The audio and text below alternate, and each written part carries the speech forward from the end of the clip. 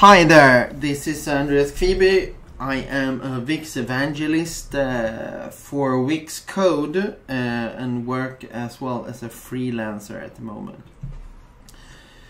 Uh, I uh, th uh, threw out a showcase video about how to do some kind of live charting uh, thing using Wix and Wix Code and I also promised to publish and show you the real uh, full video on how to do this.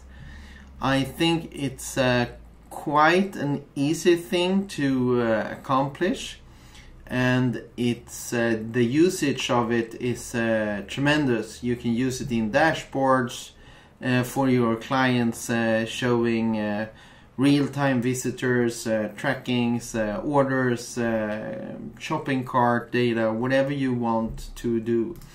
So the basic idea is to make a chart uh, update every second uh, like the Google Analytics do, which uh, moves the data from the right to the left hand side of the charting.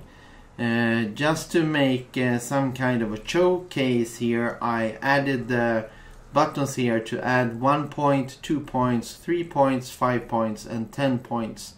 So you can uh, draw data into the charting data object uh, so if you click one point uh, it will add a one pointer to the data. And as you can see uh, the one pointer uh, on the scale is moving from the right hand side to the left hand side. Uh, and it depends on how many times you click a button every second. There's a counter that increments with the values here for each second. So if I double click the one pointer button it will add uh, a new one here. So if I I can click it fast and add uh, like uh, value with four points uh, and that will also be uh, in. So it will rescale the charting as I click the different as you can see here uh, the scaling of the chart will be different uh, if I click the different buttons here so if I click the 10 points, I can really make the scaling of the chart smaller. So this uh, of course depends and works dynamically depending on the data you send into the charts. Uh, the data is uh, only stored on this uh, 60 step uh, label as you can see at the bottom of the chart. So if you if you don't do anything or if you don't get any orders or visitors or whatever thing you want to measure here and draw uh, it will show you uh, zeros and it will continue to work. So uh, as you can see if I click slowly here it will uh, add from the right hand uh, and then move back uh, like 10 5 3 2 and 1 every second. So I can keep on playing with this uh, for a long time. I don't know if that makes me a Wix code nerd or charting nerd, but you know I think it's a I think it's a really fun thing to do to your clients to be able to show data in these kind of things. You can design the chart any way you want, setting the colors, background colors, the points, everything you need to do. Uh, so uh, let's go back to the editor here and start by telling you that I use the chartjs.org uh, library because they have all kinds of uh, you can draw bar charting, line charting, radar, donuts, polar, bubble, scatter, area, mixed things. You can format it in a lot of various ways. So this library is really easy to implement using Wix code in your system. So to start with, uh, we need to have an HTML component like we have here. I've named it in the properties panel to live chart 1 uh, and I have added code here. So this has to be an HTML component added to your page and this is where we will send our charting data and it will get rendered uh, inside this HTML component. So if we go here and look at what kind of code we need for the HTML component to, for to work, uh, first of all, it's a it's a ordinary HTML page, uh, and we are using the uh, CDN URL for the uh, chart.js uh, script, the minimized version here. So you can see script source, blah blah blah, libs chart.js 2.4 and so on. So by using the CDN version, we our page will just get the script. We don't have to include anything else. Uh, this will probably be available as some kind of npm uh, to use the npm uh, package uh, if you are more keen to doing that. Uh, I think that is a bit more advanced for a lot of people, so I'm trying to make this to work because even non-coders or people that are not that skilled in coding can have this sample and uh, actually make it work. So I have the script uh, tag here and I have the window on message function here at line 7. So this will actually get data that we send from Wix code into the HTML component. So if there is data inside the event, it will call the function make chart with that actual data. Our function make chart uh, takes in the data here. It will search your HTML page for the uh, element my chart and it will get the context of that chart. So here you can see we have a canvas with an ID of my chart. So that means that the my chart canvas will be in the CTX variable. Then we are creating a new chart with that canvas here and then we have the type of chart, which in this sample is line. Uh, the data for the data set is uh, the data values that we send in and uh, that will mean that we can send in uh, the uh, the uh, background colors, the label and the actual charting data. the options for this I have set here hard coded in the HTML code. Of course, if you want to, you can have this inside Wix code as well and send it in.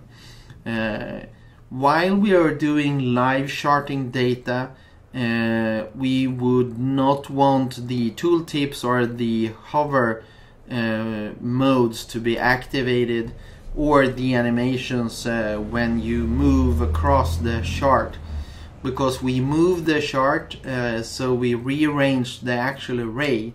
So if we allow people to move over dots and values uh, the chart will jump all over the place. So that's the reason we have this uh, disabled. So this code uh, will be available for you uh, probably on the Wix show site uh, maybe also in the Wix code forums later on. Uh, I will uh, post a gist or something with the code. So what I do, I've taken this code, copied it and pasted it into this HTML component. As you can see here, it's uh, the same code as we have in this window.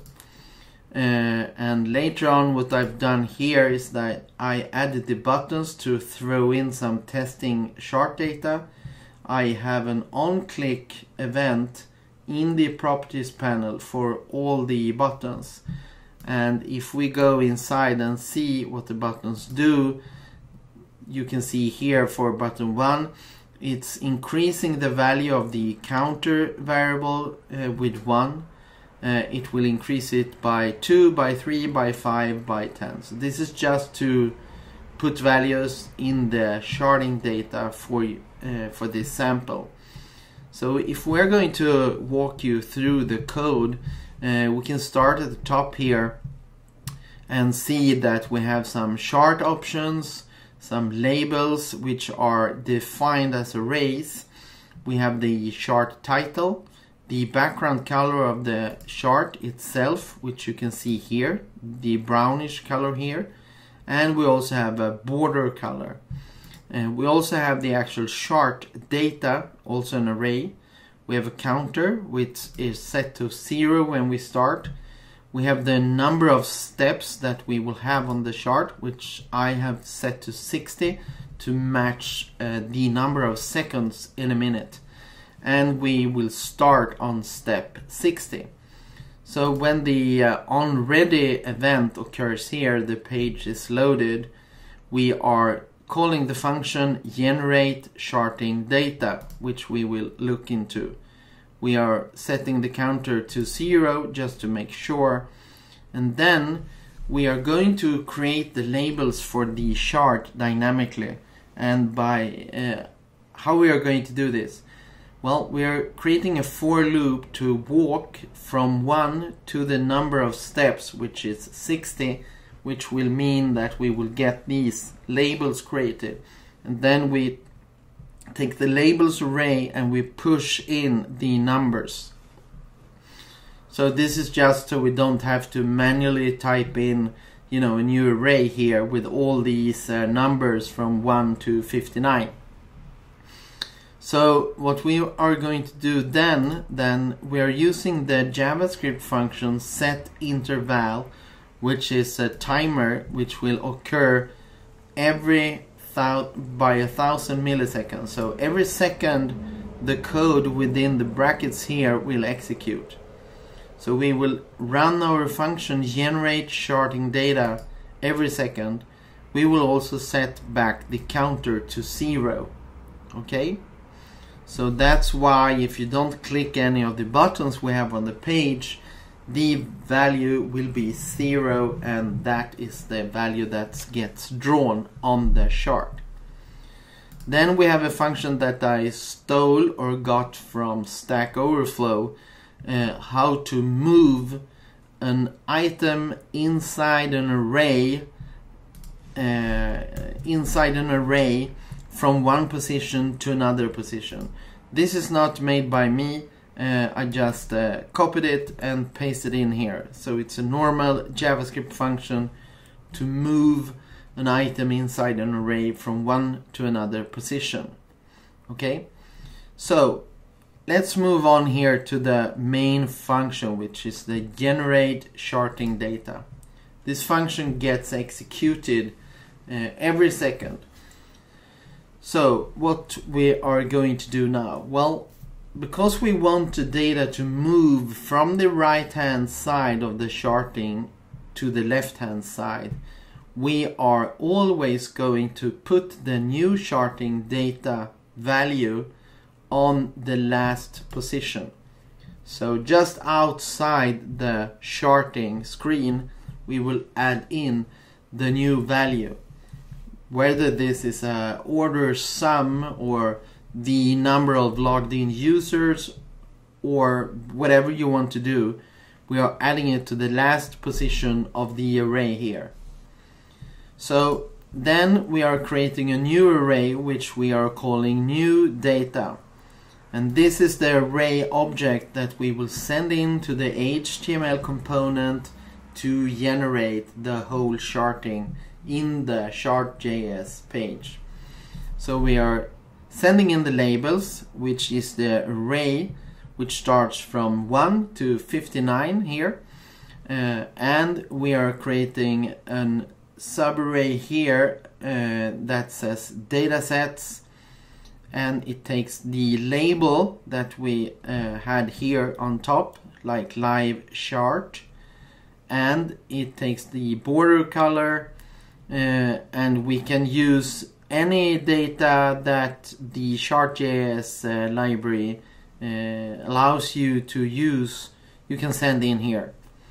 And uh, we also are sending in the actual chart data.